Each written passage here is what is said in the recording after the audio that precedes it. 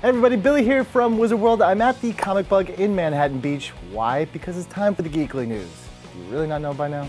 We finally have our new Spider-Man. Marvel has announced that Tom Holland will be taking over as Spidey. You may remember Tom Holland from The Impossible, gave a great performance.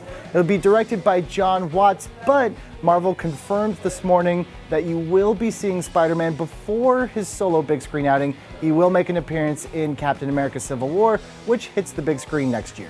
We got some movie rumors for you. Rumor number one, we thought Chris Pine might be playing Steve Trevor in a Wonder Woman movie, but now rumors are saying that he's actually up for the role of Hal Jordan for the Green Lantern reboot.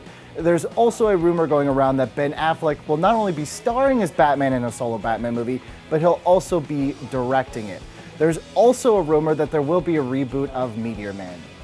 Actually, that's not true at all. I just hope if I spread that rumor enough, they'll just actually do it.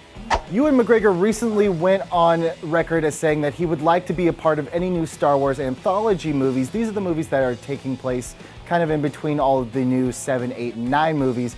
Jake Lloyd, who played Anakin in Star Wars Episode 1, would also like to be a part of the new Star Wars movies, but he's going to have to check with his parole officer first.